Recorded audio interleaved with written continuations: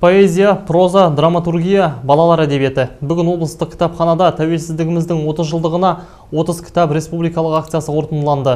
Жыл сайын дәстүрлі түрде ұйымдастырылатын жоба аясында әдетте бір кітап таңдалып алынатын. Биыл тәуелсіздіктің мерейтойына орай отандық танымал авторлардың үздік 30 туындысы мен аудармасы таңдалып алынған. Алтынай Қазиған толықтырады.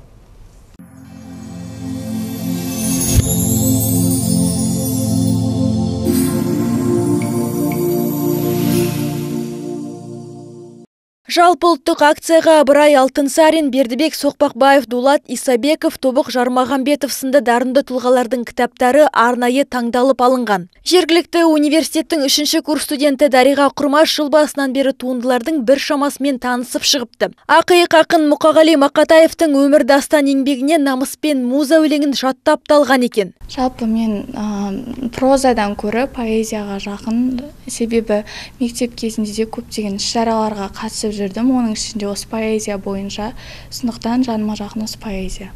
Самалдап барып саялап тынған шалғайдан дариға жүрек аққуға қосқан ән қайда?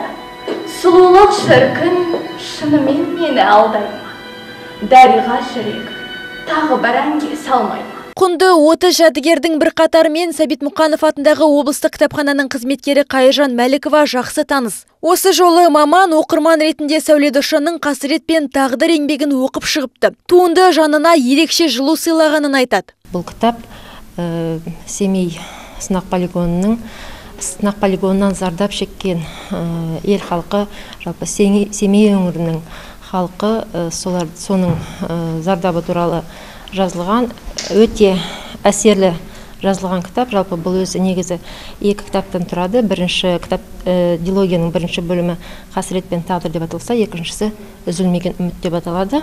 Жалпы бір жылда әр қазақ оқуға тиіс дүниелердің ішінде проза поэзия балалар әдебиеті мен аудармалар да бар. Негізінен ата бабамыздың тәуелсіздік жолында төккен тері мен еліміздің бүгінге дейін жеткен жетістіктері баяндалған. Барлық ақындардың ортақ мүддесі мынау халықтың тілі екен.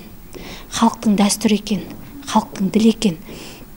Біз ә, бір кезде кеңес үкіметінің тұсында тілімізден тілімізден айырылып қалуға жақын бір шақтар болды ғой. Сол шақтарда қазақтың тілі туралы әр ақын аңсады. Шіркін ай өшсе тілім бірге өшемін өшсе тілім мен де бірге өсемін деп кезінде сөйтіп жырлаған ақындардың ішінде мысалы бүгінгі таңда мұқағали айтады екінші бақытым тілім менің тас жүректі тіліммен тілім дедім кей кейде дүниеден түңілсем де қасиетті тілімнен түңілмедім дейді. Айта кетейік бір ел бір кітап акциясы ел көлемінде 15 жылға жуық уақыт бойы ұйымдастырылып келеді. Бұған дейін жыл кітабы ретінде бір туынды ғана таңдалатын. Осы жолы тәуелсіздік мерейтойына 30 туынды белгіленді. Сәйкесінше тақырыбы да өзгертіліп отыр. Алтынай қазиқан қазбек арықбаев муниципалдық телеарна.